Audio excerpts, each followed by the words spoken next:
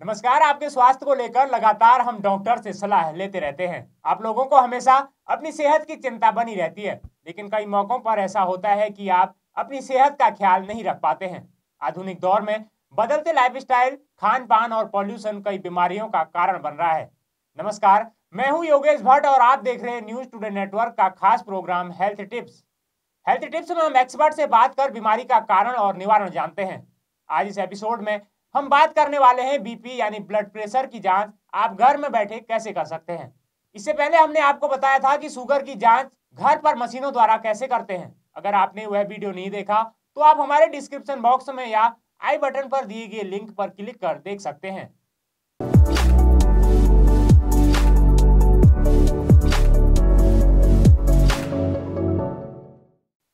दोस्तों, अक्सर चिंता के कारण बीपी का मरीज़ डॉक्टर के पास चैम्बर में जाता है तो उसे बीपी नापने में घबराहट सी महसूस होती है, जिसकी वजह से कभी गलती से उसका बीपी हाई निकल जाता है तो कभी बीपी अचानक लो हो जाता है।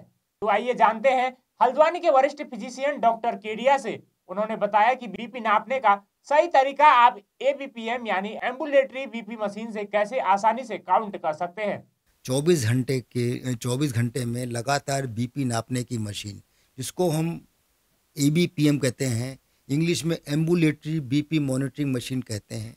इस मशीन के द्वारा इस मशीन के द्वारा हम 24 घंटे में लगातार बी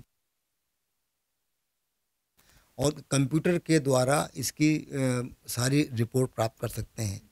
इस मशीन की आवश्यकता क्यों हुई? ये बात हमको बहुत ज़रूरी समझनी चाहिए।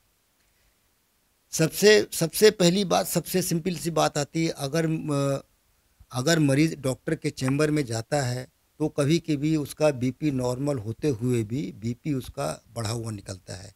इस चीज़ को हम लोग साइंटिफिक भाषा में वाइट कोट हाइपरटेंशन कहते हैं।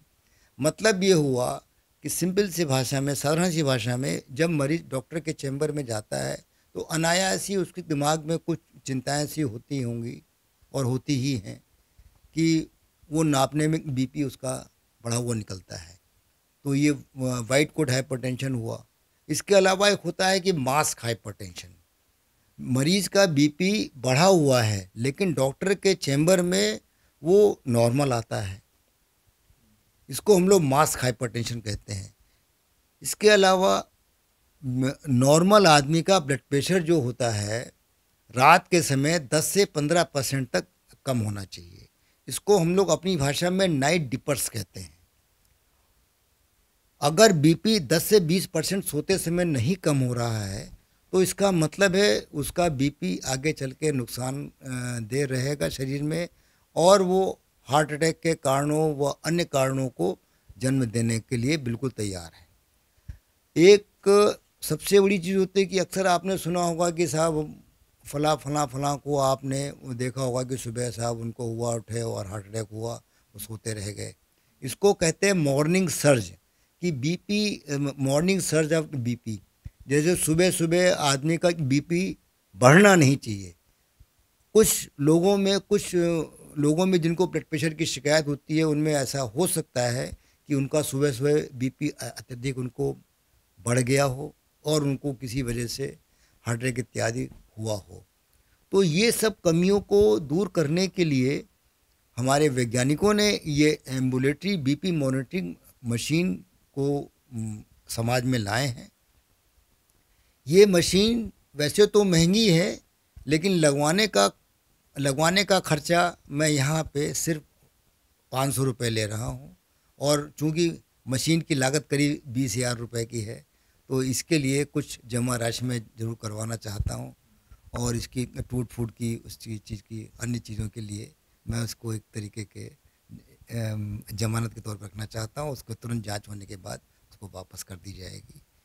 और शुगर के बारे में जो बताना चाहता था मैं जो शुगर की मशीन है, ये सिर्फ़ हम पैंसठ सौ रुपये की मशीन होती है। इसमें पाँच हज़ार रुपये का जो हमारा जो पैस लगता है, ये डिस्पोजेबल होता है और इसमें पैंसठ सौ रुपये में मैं हज़ार रुपये उसको, मरीज़ को तुरंत उसको वापस कर देता हूँ।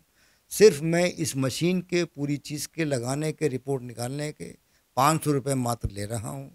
और ए बी पी एम के लगातार चौबीस घंटे की बी पी नापने की मशीन के भी पाँच सौ रुपये हल्द्वानी शहर में मैंने शुरू करे हैं। आज के समय में युवाओं में हार्ट अटैक के मामले भी लगातार बढ़ते जा रहे हैं। अक्सर बीपी और शुगर एक दूसरे से जुड़े हुए मर्ज हैं। इन दोनों बीमारियों के एक साथ होने पर डॉक्टर बताते हैं कि अगर सही से जाँच नहीं हो पाती है तो हार्ट अटैक के बढ़ने के चांस 60 से 80 परसेंट तक बढ़ जाते हैं। अगर किसी मरीज़ को ब्लड प्रेशर के साथ साथ अगर शुगर हो जाता है जैसा कि मैंने पहले बताया था तो यूँ यूँ समझ लीजिए कि उसको जो संभावना है sixty two eighty percent heart attack होने की संभावना बढ़ जाती है। और संभावना ही नहीं बढ़ती है। सबसे खतरनाक बात है ये समाज के आ, समाज में ये चीज़ें बतानी बहुत ज़रूरी हैं। शुगर में जो हार्ट अटैक होता है, इसमें दर्द ही नहीं होता है। साठ से अस्सी परसेंट केसेस में बिना हार्ट बिना सीने में दर्द हुए हार्ट अटैक का हो जाना और शरीर में पसीना नहीं होना, सिर्फ़ आदमी को थोड़ी सी बेचैनी सी होती है, जिसका, जिसकी जानकारी एक स्वयं डॉक्टर को भी शायद न हो पाए। इसलिए शुगर के रहते हार्ट अटैक होने में जान का खतरा बहुत ज़्यादा बढ़ने की संभावना है, इसमें कोई शक नहीं।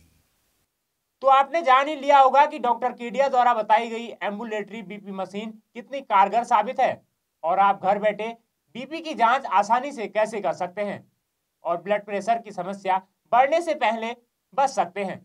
अगर आपको हमारी ये वीडियो अच्छी लगी हो तो वीडियो को लाइक करें और चैनल पर नए आए हैं तो चैनल को सब्सक्राइब करें और बेल आइकन दबाना ना भूलें, जिससे कि इसी तरह स्किल डॉक्टर से ली गई परामर्श आप तक पहुँचती रहे और आप स्वस्थ रहें। नमस्कार।